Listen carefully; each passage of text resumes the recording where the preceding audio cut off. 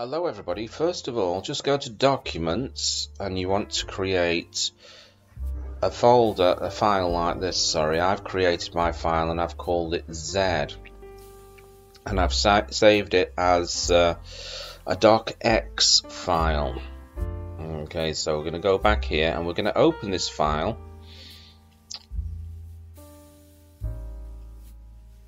Yeah we're going to open this file and uh, we're going to read it in the terminal. So first of all, we're going to import doc x to txt. This is the module we need to import. If you haven't got this module on your system, you need to download it using your uh, pip installer at the command line. So just Google that, Google pip, and then install this module at the command line. Okay, another thing we're going to import is OS, which we should have on the computer. Now I'm going to create a little function called open doc. Okay. And we're going to create the path name there. So you need to get the path name.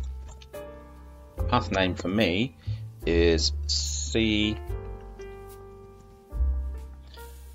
users. This might be slightly different for your computer, so you need to get the path name for your computer. And this C is going to be Mark, and we're going to say documents.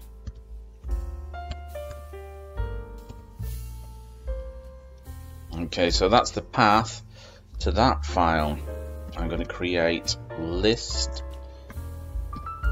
Dir is equal to os dot chdr which is change directory.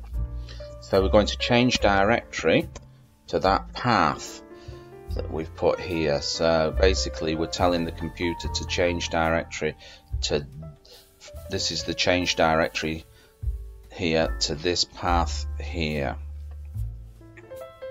Okay, and then we're going to print out the path.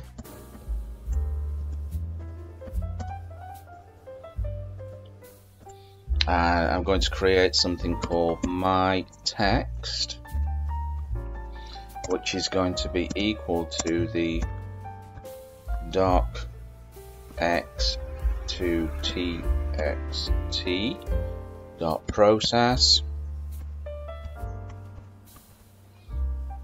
and then we're going to type in our document which is z dot doc x. And then all we're going to do is print out that document which will be printed out in a terminal